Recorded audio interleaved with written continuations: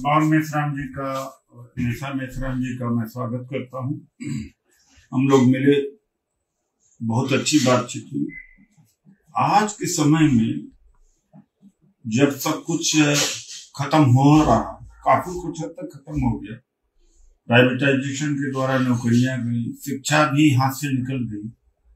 और तिरालीस vice chancellors हैं देश में, उसमें केवल एक एस सी एक एस टी है।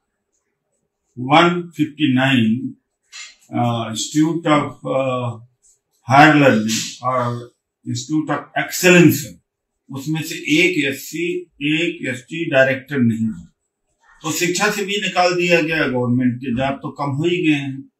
और डेमोक्रेसी की जो स्ट्रेंथ होती थी वो कमज़ोर हो गई है। ईवीएम से अब चुनाव होने लगा। अब हम वोट दें या ना वोट दें मशीन वोट दे रही है। ऐसी परिस्थिति में अगर हम लोग एक नहीं होते हैं, बहुजन एक नहीं होते हैं तो मेरा ख्याल है कि इतिहास कभी माफ़ नहीं करेगा। और इस लोकसभा के चुनाव के बाद हमें लड़ने का मौका भी नहीं देगा। अब आगे चुनाव होगा कि नहीं होगा? वन नेशन, वन इलेक्शन का मतलब क्या है? पार्लियामेंट्री डेमोक्रेसी को खत्म करके प्रेसिडेंशियल में प्रेसिडेंशियल में केवल सवर्ण ही जीत सकते हैं और S C S T OBC, minorities का कोई मतलब नहीं रह पाएगा। तो हम लोगों को एक होना चाहिए, मेरी अपील है लोगों से कि चाहे और जो छोटे छोटे संगठन हैं, जो अहंकार, खुद का अहंकार, ईगो है और अपने सेटिस्फेक्शन के लिए ही कर रहे हैं, वो सारे हमारे कमज़ोर हमारी कमज़ोरी बन गए पूरे देश में। चार आदमी है तो दस आदमी एक संगठन खड़ा कर देते हैं और टुकड़ों में पूरी शक्तियों को बांट दिया है। अब इस मंच पर आए ईवीएम के खिलाफ हम लोग लड़े वरना अब लड़ने का भी मौका नहीं रहेगा तो मेसराम जी से और दिग्विजय जी से अभी मुलाकात हुई है कांग्रेस नेता। तो हम लोगों ने सलाह मशविरा करके 19 फरवरी को जंतर मंतर नई दिल्ली पर ईवीएम के खिलाफ आह्वान किया गया, पूरे देश के लोग आए, सभी लोग आए एक कॉमन मंच है किसी एक का नहीं। है मैं यही कहूँगा आज मुझे बड़ी खुशी हुई मोहन मेसराम जी से मिल करके इन्होंने समाज के लिए बहुत काम किया है बहुत जगाने का कार्य किया है। लेकिन जगाने से ज़्यादा जिस तरह से आ, मीडिया इस देश में है मनवादी लिटरेचर प्रभाव और उनका असर वो हमारे सामाजिक जागृति का जो प्रयास है उसको भी छोटा करता चला जा रहा है। तो मैं यही फिर से अपील करूँगा समाज से कि अब कम से कम अहंकार, ईगो को छोड़ो और कुछ समाज के लिए भी देना सीखो।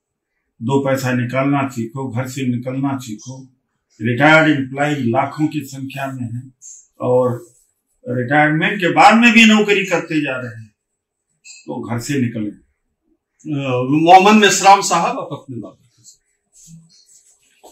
साथियों, आप सभी लोग जानते हैं कि कल हमने जंतर मंतर पर ईवीएम के विरोध में राष्ट्रीय स्तर का बड़ा आंदोलन किया, महामोर्चा निकाला और उस महामोर्चा में बत्तीस राज्यों के लोग उपस्थित थे। और जनता को इकट्ठा करने का देश भर में हमने अभियान चला रखा है।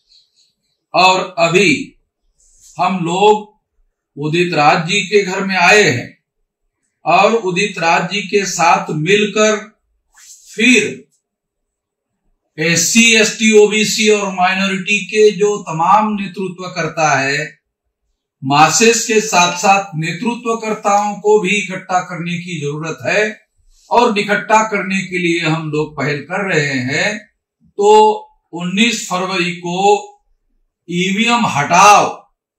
एक बड़ा और आंदोलन होने वाला है। उस आंदोलन में भी हम सारे देश भर से लोगों को इकट्ठा करने के लिए अपील करते हैं और इकट्ठा करने के लिए सारे देश भर से लोगों को लाने की कोशिश करेंगे। इस मौके पर मैं इतना ही कहना चाहता हूँ। हमें बहुत खुशी है कि उदित राज जी और हम अब आने वाले समय में समाज की लड़ाई मिलजुल कर लड़ेंगे। शुक्रिया जय भीम।